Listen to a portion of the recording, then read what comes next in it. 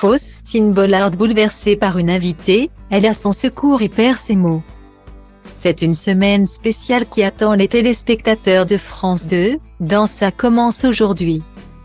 Faustine Bollard sera aux commandes d'inédits consacrés à la santé mentale. Et l'une des séquences de ce lundi 27 mars 2023 était bouleversante.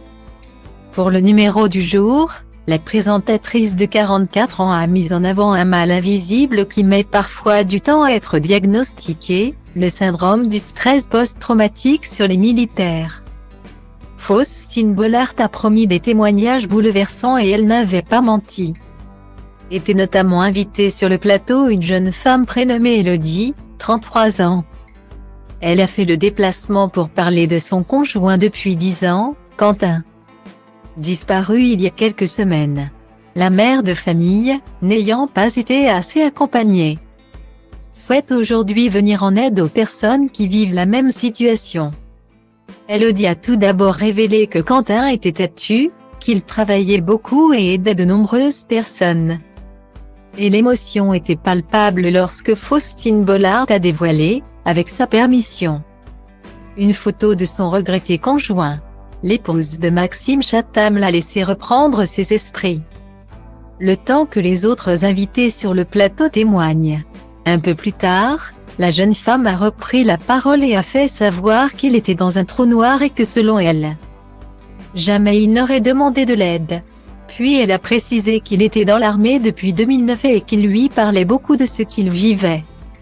C'est il y a environ 4 ans qu'elle a noté un changement de comportement. Elodie le trouvait plus stressé, plus en colère, plus tendu. Mais au départ, il refusait de mettre des mots sur le mal qui le rongeait. C'est lors de son second séjour au Mali, de mars 2021 à février 2022, que tout a basculé. Il ne dormait plus du tout depuis plusieurs semaines. Il était toujours angoissé. Il ne vivait plus. Il ne mangeait plus trop non plus, a-t-elle précisé. Il a alors fait une première tentative de suicide au bout de quelques jours. Il a donc passé une nuit dans un CHU, en psychiatrie, et a été en arrêt durant un mois. Sous traitement. Sa somme, ce n'est plus les mêmes. On n'a plus de vie, ce n'est pas lui. Même lui ça ne lui convenait pas, il ne se reconnaissait pas je pense, a-t-elle poursuivi. Elodie a également expliqué que Quentin était allé voir la psychologue de l'armée ainsi que le médecin militaire. Le syndrome post-traumatique a été évoqué et on leur a expliqué que d'autres le vivaient. Mais il n'y a pas eu de suivi derrière. Elle lui a donc conseillé d'aller voir une psy spécialisée dans l'EDMR. Chose qu'il a faite. Malheureusement, il ne s'est pas rendu à sa deuxième séance et est décédé peu après. Il a mis fin à ses jours sur son lieu de travail. Depuis je suis surofée j'avance. A-t-elle déclaré, très émue. En larmes, elle a avoué qu'elle se sentait coupable de ne pas avoir réussi à l'aider. Et elle regrette de ne pas avoir pu l'appeler avant qu'il ne commette l'irréparable. Alors qu'il le lui avait demandé.